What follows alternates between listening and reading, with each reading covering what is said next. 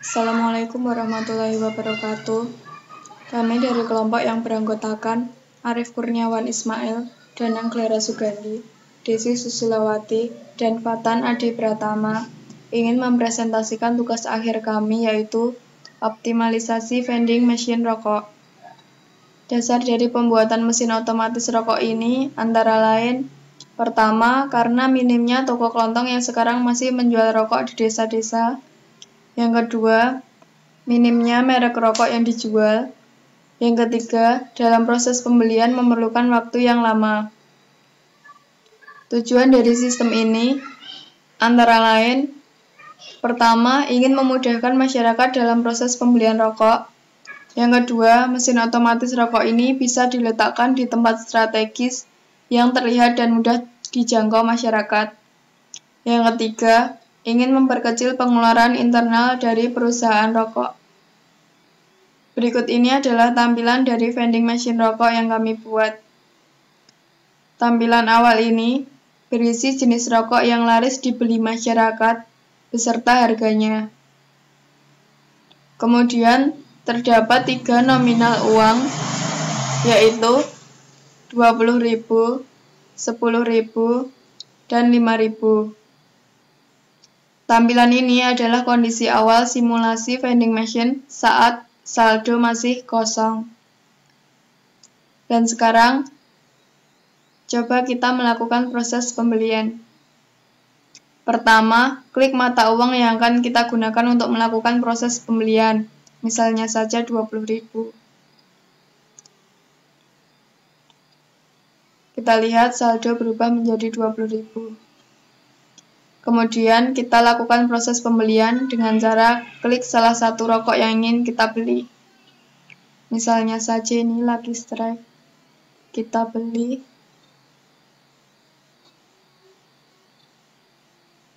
Maka saldo akan berubah menjadi 1.500.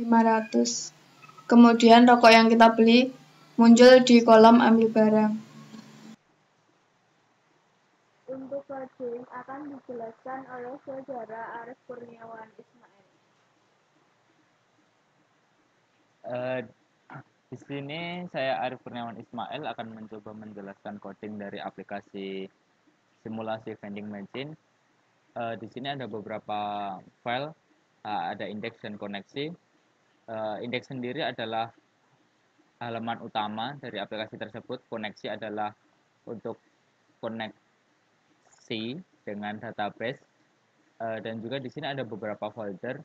Admin uh, di sini berfungsi untuk input, edit dan update data ke database sehingga tidak perlu membuka dan menutup dari database atau input manual ke database tersebut. Uh, yang kedua ada CSS. CSS di sini berfungsi sebagai um, mengatur dari tampilan aplikasi tersebut. Image adalah folder yang berisi gambar-gambar yang ditampilkan pada aplikasi di sini.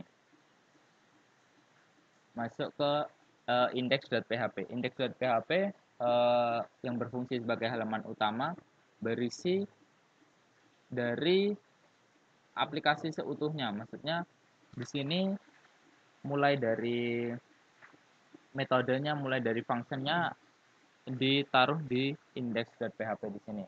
Kita mulai dari atas.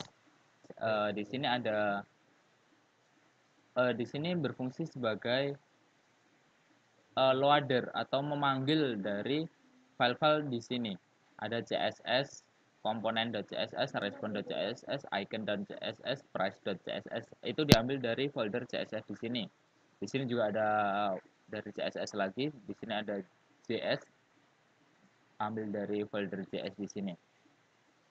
Lalu selanjutnya adalah di sini ini adalah headline dari aplikasi di sini. Vending machine rokok. Lalu selanjutnya ini berfungsi sebagai pemanggil data e, mengambil dari koneksi.php koneksi.php ini tadi uh, lalu membuat query select all from stock. Jadi di sini tabelnya bernama stock. lalu diambil dari kolom jenis dengan kriteria di kolom jenis tersebut adalah rokok karena di sini vending machine berupa vending machine rokok. Lalu result MySQL query ambil dari SQL tersebut. Nah, lalu di sini mulai kita buat dari desainnya. Uh, di sini ada nanti kita dari aplikasi yang sudah dijelaskan sebelumnya. Tadi ada berbentuk kotak-kotak seperti itu. Uh, itu adalah hasil dari ini. Uh, plan counter di sini kelas plan, plan counter price produk. Di situ tadi berisi dari gambar. Gambar itu diambil dari folder image img yang diambil dari namanya. Folder img, lalu diambil nama, lalu .png karena tipe filenya adalah png. Yang kedua adalah harganya. Harganya ini diambil dari database, jumlah juga diambil dari database. Lalu di bawahnya ada tombol beli. Di tombol beli ini nanti memanggil function dari fungsi beli. Yang kedua ada kotakan yang kedua yaitu masukkan uang. Masukkan uang di sini uh, fungsinya adalah mengisi saldo dari pengguna vending machine. Di sini ada tiga, tiga jumlah mata uang yang digunakan, 20.000, uh, 10.000 dan 5.000. Jadi ketika pengguna mengklik gambar uang 20.000 maka saldonya akan bertambah 20.000 begitu juga selanjutnya. Lalu akan ditampilkan jumlah saldonya di bawahnya. Berapa jumlah saldo dari pengguna tersebut? E, lalu ada kotakan selanjutnya ambil barang ketika ketika pengguna sudah memilih atau mengambil rokok yang dia pilih. Jadi rokok yang sudah dia pilih yang dia ambil dari produk-produk tersebut nanti akan muncul pada kotak ambil barang. Lalu di sini adalah ada switch case. Switch case kurang lebih e, fungsinya seperti if else.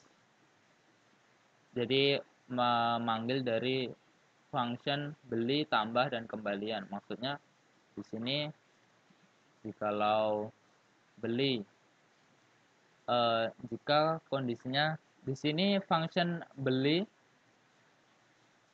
uh, beli di sini mengambil dari ID, saldo, harga, jumlah, dan nama yang ada di database. Jadi disamakan yang ada di sini dengan yang di database.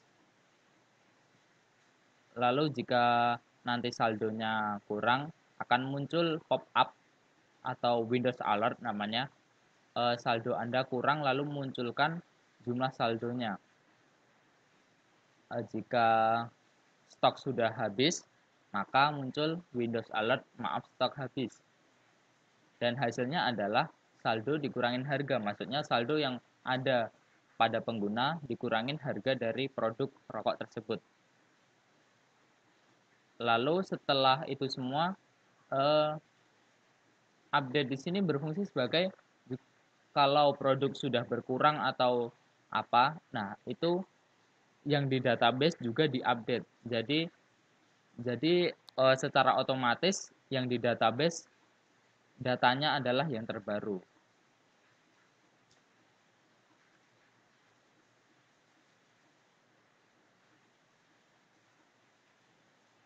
Di sini function tambah uh, berfungsi untuk menambahkan saldo uh, ketika seperti tadi yang saya katakan ketika eh, pengguna menambahkan mengklik uang gambar uang maka saldo akan bertambah. Itu adalah fungsi dari tambah tersebut. Eh, fungsi kembalian adalah sisa saldo ketika pengguna selesai menggunakan vending machine. Maksudnya adalah saldo pertama dikurangin dari harga produk rokok di sini. Uh, mungkin cukup itu saja penjelasan coding di sini. Jikalau ada kurang, mohon maaf. Sekian simulasi vending machine rokok yang kami buat. Wassalamualaikum warahmatullahi wabarakatuh.